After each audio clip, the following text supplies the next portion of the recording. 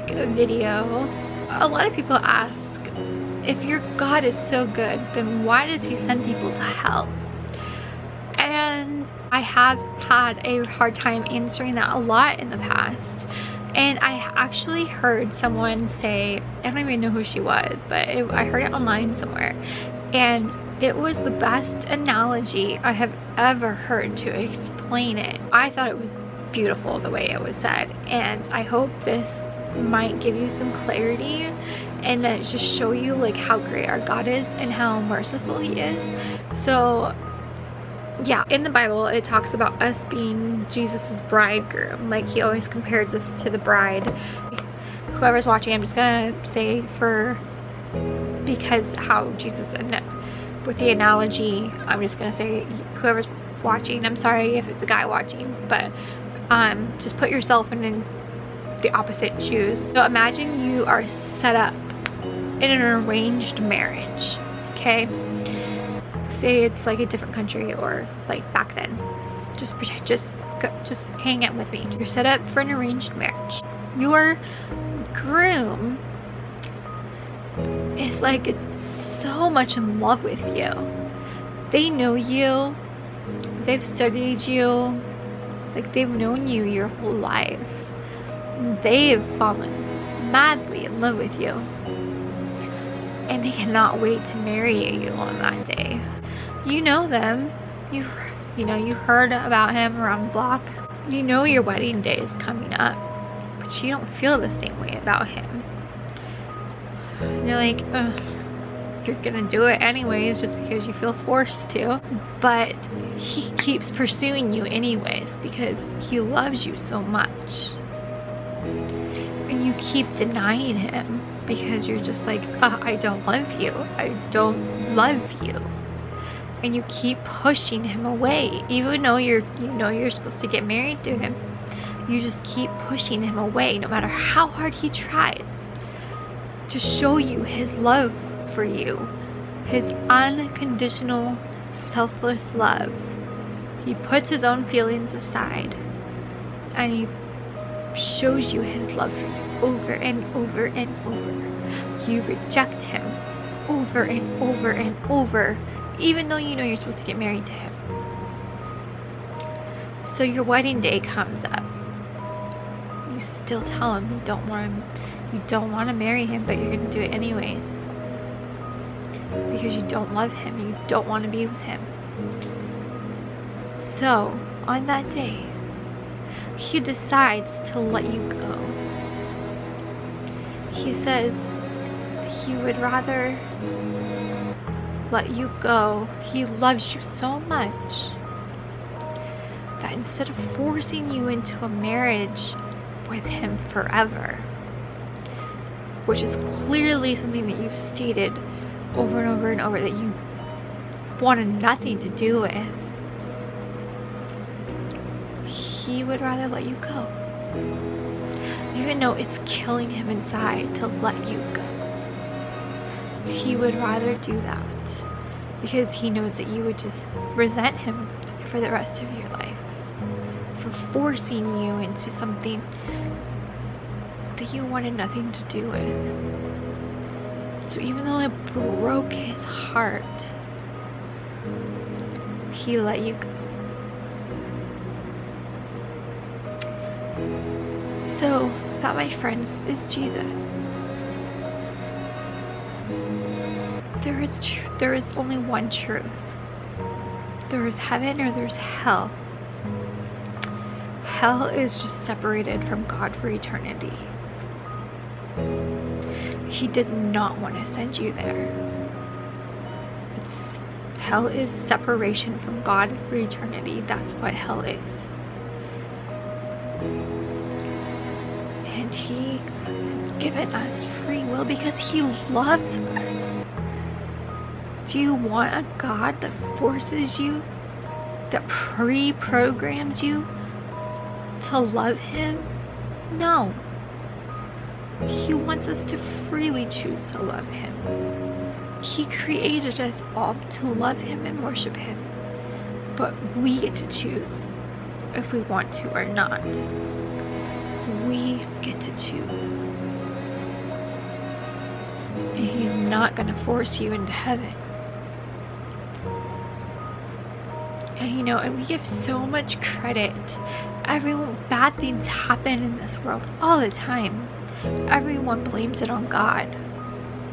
But no one blames Satan. Satan's responsible for most of everything bad. You don't hear anyone saying, why did Satan do that? No, they blame God. Why is it nobody talking about how crappy Satan is to everybody? God's the fixer, the healer, the lover. He wants to hold you. We have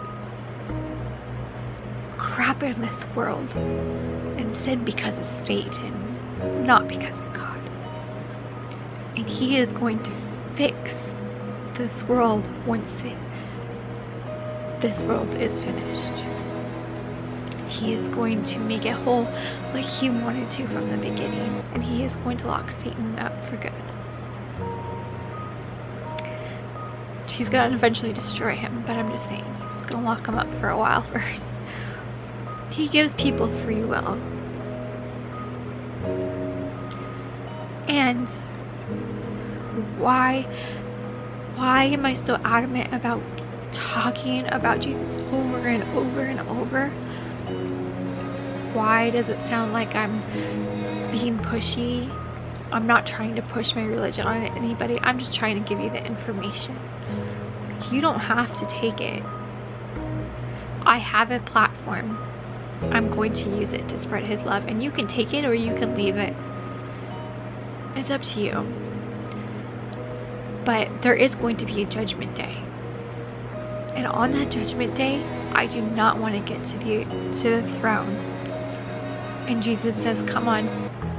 Come on, hope." And then my friend next to me is sentenced to hell. And my friend there that's sentenced to hell is looking at me, bawling, and looking at me, screaming, Why didn't you tell me? Why didn't you tell me about Jesus? Why didn't you tell me? You could have told me this whole time. But you didn't tell me the truth. And now I'm going to hell because of you. So that's my spiel. And so if you if you want to ensure that you're going to go to heaven and live forever with Jesus and not be separated from God for eternity, all you have to do is believe in Jesus Christ. Truly believe, not just say the words, but believe in your heart that Jesus Christ is Lord, that He died on the cross for your sin and rose again on the third day. And call on His name and ask Him to live in your heart, He will save you.